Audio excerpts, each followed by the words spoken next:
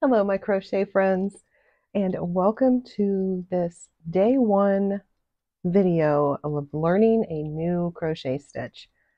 So I've got my beautiful new My Valentine colorway that I've dyed. It's um, the new colorway in January, specifically for Valentine's Day. So if you're looking to make something special for someone this year for Valentine's Day, I highly encourage you to support my shop and grab yourself a skein of my Valentine. I have this in fingering weight, DK weight, worsted weight, and bulky weight. They're all very beautiful, and I just know you're going to love them. So I've got I've got a bit here caked up, and look at this cake. Oh my goodness. It's just so sweet. It looks like I could just want to take a bite out of it. I'm so excited. All right, let's get into our um, crochet stitch that we're going to learn today. Now, I don't know the name of the stitch, and the majority of the stitches that I'm going to be teaching you, I do not know the names of. They're just stitch patterns that exist. So I'm going to teach you how to do this using DK weight. This is um, my Valentine in DK weight, and I have a 3.75 millimeter hook here, which is an F5. let's go ahead and get started. I'm going to stick that right up there in the corner. All right, so let's get started. We're going to go ahead and cast on 24 stitches. So let's do our little slip knot. So take the yarn, wrap it around your finger, fold it over itself here, and then pull this up and grab that yarn in the back and pull it through. So we've made kind of like a little knot there. It's called a slip knot. Perfect. All right, so now we're going to chain a multiple of two stitches. So I'm going to do 24. One, two, three, four, five, six, seven, eight, nine, ten, eleven, twelve, thirteen, fourteen, fifteen, sixteen, seventeen.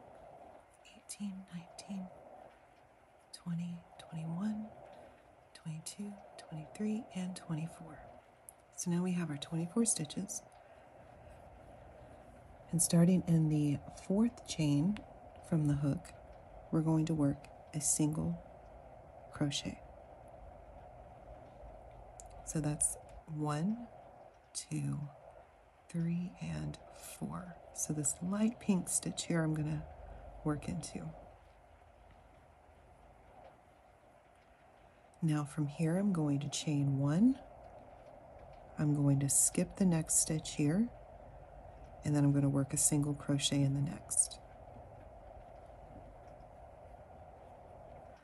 Chain one, skip the next stitch here, work a single crochet in the next. Chain one, skip the next stitch, work a single crochet, chain one, skip the next stitch, work a single crochet. I'm going to do that all the way to the end.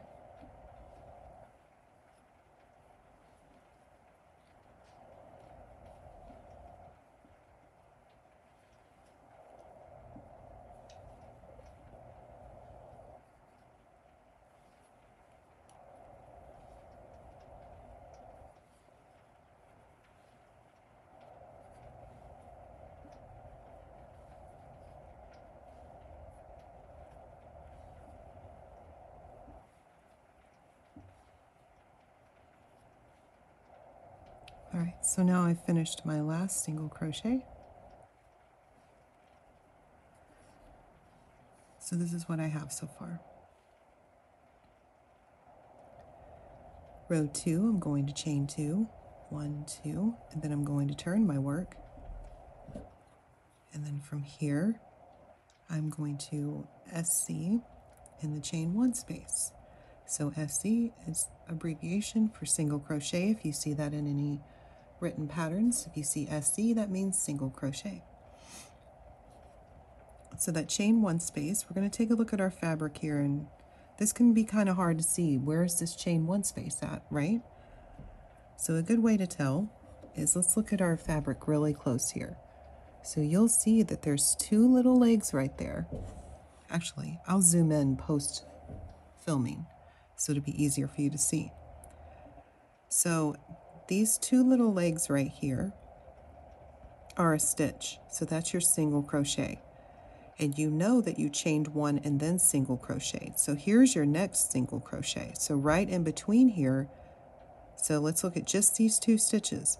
Right in between these two little, what look like hearts, are your chain one spaces. And if you tug, you'll be able to see a nice little hole. And it's kind of compact because of the way the, the yarn's kind of floofing up a little bit. But once you work that stitch in there, it'll open up a little bit. So let's go ahead and do it.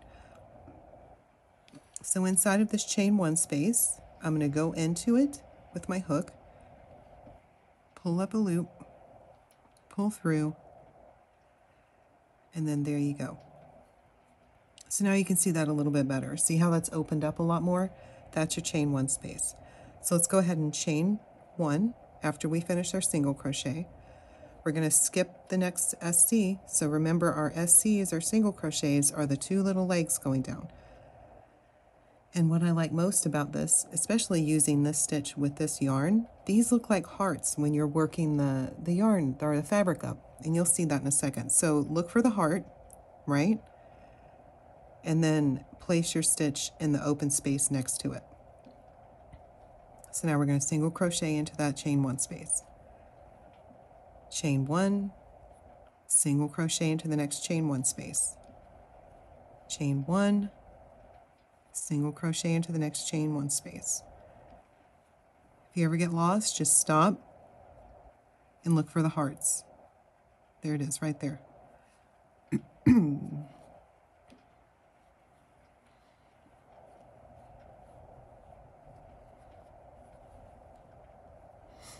We're going to work that to the last stitch and I'll show you what to do when we get there.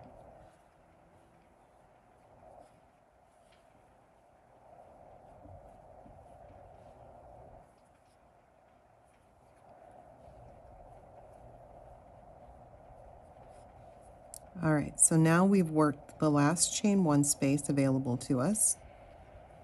So now we have a single crochet and then we have our turning chain. So we've single crocheted into the chain one space and we've chained one.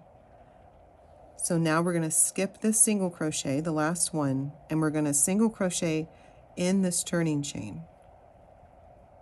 So just grab anywhere in the turning chain. The closer to the top you are, the better, and place a single crochet. There you go. Now, this is what we have. Isn't that cute? All right. Let's chain two and turn our work. We're going to do the very same thing. So we're going to look for that chain one space. We should start with one because remember when we came here, we chained one, we had our single crochet in the chain one space, then we chained one, then we did a single crochet.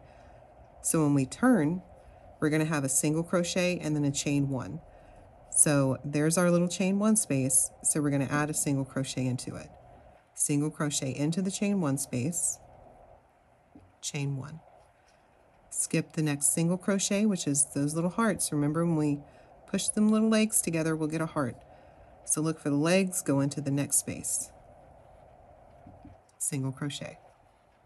Chain one, next space, single crochet. Chain one, next space, single crochet. Chain one, next space, single crochet. Continue that all the way till you get to your last chain one space.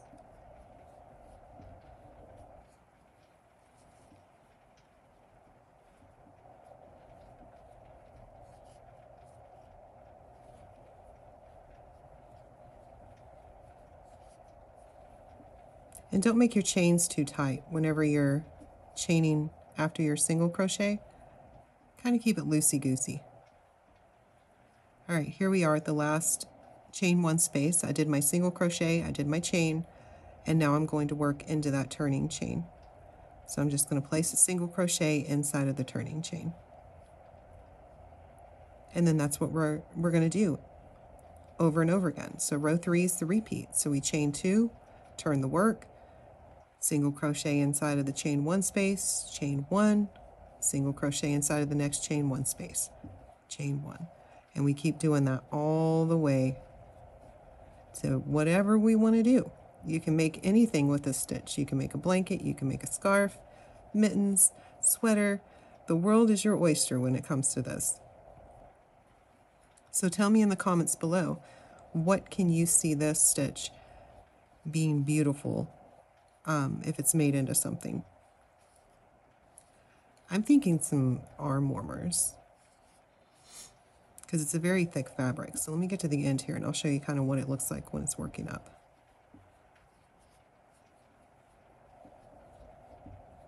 All right, I'm at the end. I'm working inside of the chain three. All right, let's pull up here. Look at how adorable that is. Look at the little hearts. Oh my goodness. that is so cute. That is too adorable. Don't they look like little hearts? Or maybe it's just the color of the yarn that's making me think it looks like hearts, but it looks like tiny little hearts right there. Oh, I'm so, I'm so tickled. I'm tickled pink. All right, let me spend some time working this fabric up a little bit more so you guys can see what it looks like when it's, once it's like almost fully fleshed out. All right. All right, and there's the stitch. Check that out, how beautiful that is. I think this is a gorgeous stitch pattern that could be used for just about anything, and it is reversible. I think with the majority of crochet stuff, it is pretty reversible, but this one is just fantastic. It's quite a dense fabric when it works up, so it'd be nice and warm. So I'm thinking maybe some arm warmers. Let me know what you think below. What would you make with this? All right, if you enjoyed this tutorial, don't forget to give me a thumbs up, hit the like button, hit the subscribe button, and then turn on the bell on the notifications so that you get notified whenever I post a new video. I'm going to be doing a lot more crochet stitches, so I hope to see you in the future. All right, have a great day. Bye.